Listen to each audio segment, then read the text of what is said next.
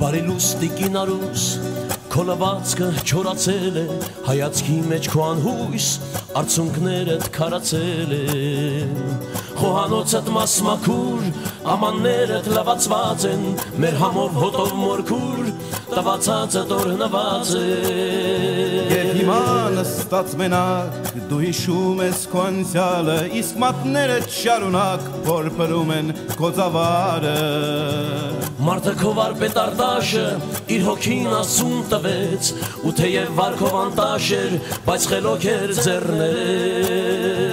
Նա ուներ ոսկե ձեռքեր ու շարեց պատերը տան նա կապեց կտուրը ձեր սարքեց դուր ու պատուհան Իսկ հետո երբ ծնվեցին զավակները քո աննման տունը քո լծվեց սիրով ու շնչով երջանկության Նա ուներ մի թուրություն մեզանից ով է ամբից սիրում էր ընկերություն խմիչքի հետ ոգելի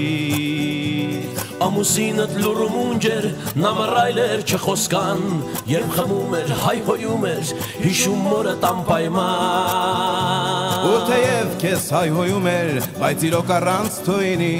վաղեմի սովորություն էր, մարդ պետք է արտահայտվի։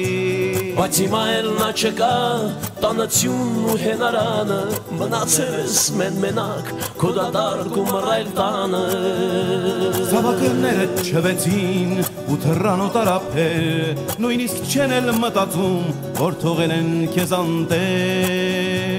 Բարի լուստիկին արուս, Գոլավացքը չորացել է, հայացքի մեջ քո անհույս, արցունքներդ քարացել են։ Խոհանոցդ մասմակուր, ամաններդ լվացված են, մեր համով հոտովը մորքուր, տված հացը տորհնված է։ Բարի լուստիկին արուս, քո լվացքը չորացել է, բարի լուստիկին արուս, տվացածը տորնված է, բարի լուստիկին արուս, քո լվացքը չորացել է, բարի լուստիկին արուս, տվացածը տորնված է, բարի լուստիկին արուս